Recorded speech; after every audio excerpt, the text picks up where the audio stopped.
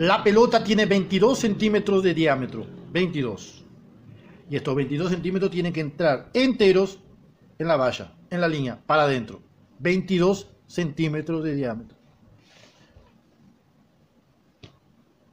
Bien ahí, bien acá también mejor. Para Uruguay que clasificó para el Mundial nomás. Gente, ahora para Perú la trama se complica. El problema, el problema es que yo debería estar celebrando la clasificación del Mundial de Uruguay para el Mundial y estoy acá explicando una cosa que ya está más de que clara. Gente, la pelota no entró. El pueblo peruano es fantástico, espectacular. Hizo un baruch, una fiesta tremenda durante todo ese mes anterior para enfrentar Uruguay de cara a la clasificación y eso es admirable. Yo no tenía esa noción de que el pueblo peruano fuera tan apasionado por su selección como vi en estos últimos días para encarar el partido contra Uruguay. Ahora, eso no significa que ellos tienen razón.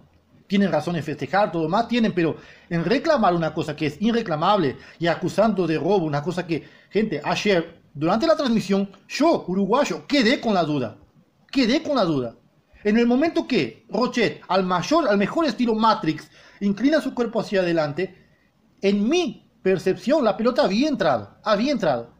Y tal vez la transmisión del partido pecó, pecó realmente en no dejar claro que la pelota o había o no había entrado. Yo cuando el árbitro coloca la mano en el oído y estaba siendo hecha la revisión pensé, caramba, fue gol. Fue gol, va a ser uno a uno. Entre tanto, la confirmación vino, no fue gol, partido que sí, reclamación por ahí, reclamación, festejos y está. Hoy, con las imágenes disponibles, ¿ta? con la Conmebol divulgando el audio y el video del VAR, la gente, los peruanos continúan creyendo que fue gol, gente. Están peleando con la imagen. No fue gol, yo les deseo toda la suerte del mundo en el partido contra Paraguay, próximo partido de Perú, pero lamento, ustedes deberían enfocar su crítica a la Padula que tuvo dos chances en los primeros minutos del partido y erró cara a cara con nuestro arquero, monstruo de nuevo, claro, en el cabezazo, solito. Él tenía los dos ángulos para elegir, cabeció al medio. Error de la Padula. En el segundo, él podía haber pateado cruzado, pateó el ángulo del golero, golero atajó, erró. Desapareció la Padula después de eso. Desapareció. Entonces Perú perdió el partido.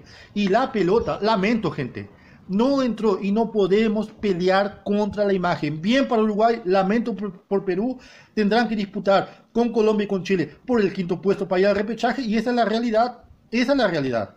La pelota no entró, no podés pelear con la imagen. Con la duda podemos discutir como yo dormí con ella ayer. Pero con las imágenes, ahí no da gente. Suscríbete al canal, dale like y vamos que vamos. La pelota no entró un monstruo. Sergio Rochet, un monstruo al mejor estilo Matrix, atajo.